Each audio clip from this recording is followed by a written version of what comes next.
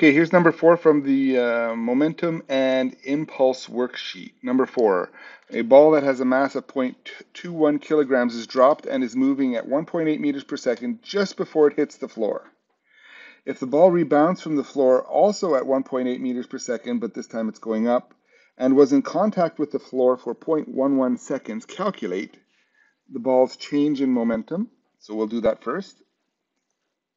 So A, the change in momentum is mass times the change in velocity. And that is the mass times Vf minus Vi.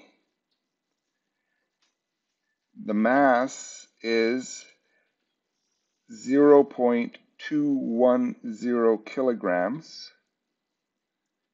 And the final velocity was 1.8 meters per second up and the initial velocity was 1.8 meters per second down. So this is during the floor hit, it changed its velocity from 1.8 down to 1.8 up. So that is, again, we can't subtract things that are in opposite direction unless we go, okay, well, let's make this negative but up. So subtract a negative is adding a positive and they're both up now. So this is the same as 0.210 kg times 3.6 meters per second up. That's the change in velocity. That's how much the velocity changed. Let's pull up our calculator, figure out that value. So 0.21 times 3.6 has a change in change in momentum of 0.756 kilograms meters per second. That's its change in momentum. The impulse the ball experienced due to the collision with the floor. Well, this is an easy one because impulse, which is also known uh, uh, by formula as force times the change in time, is the change in momentum which is m delta v. So because we have calculated the change in momentum, that is the impulse. So the impulse, I'll just leave it as a capital I, is 0.756, and instead of kilograms meters per second, I'll just put Newton seconds. Now, I've made a mistake on both of these. I need a direction.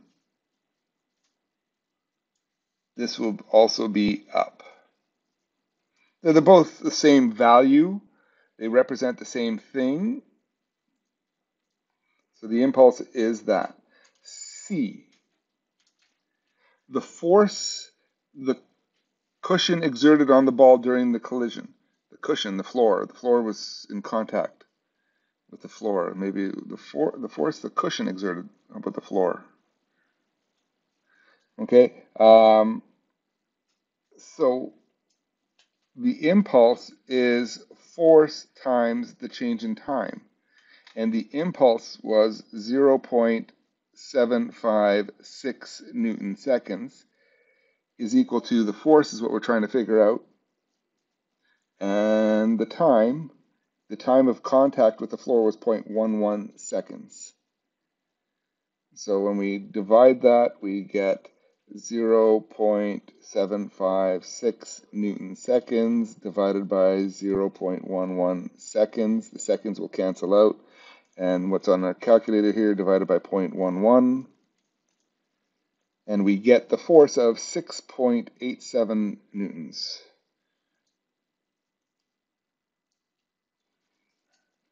Six point eight seven.